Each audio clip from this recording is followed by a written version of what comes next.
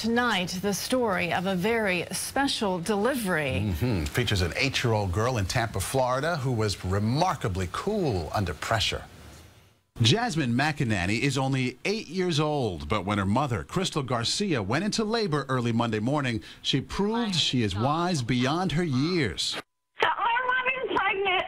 My mom's pregnant. Her water's broke. And your water's broke. Oh, okay in so much pain. Oh, okay. I was a little freaked out because, like, she was having a baby and on the floor in the bathroom. She got very emotional at first, seeing me, you know, crying the way I did, but she pulled it together really quickly and definitely came through for me.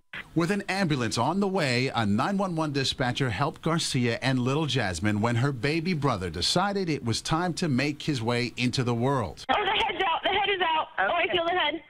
Tell Jasmine to support the baby's head and shoulders. Can you support the head and shoulders?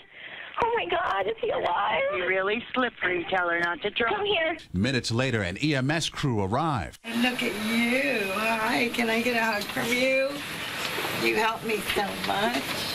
Garcia credits 911 dispatcher Emily Hall with helping keep her and Jasmine calm under pressure during those eight minutes that felt like an eternity. If you have us frantic, and then her, you know, as well, it, it wouldn't have went as smoothly as it did.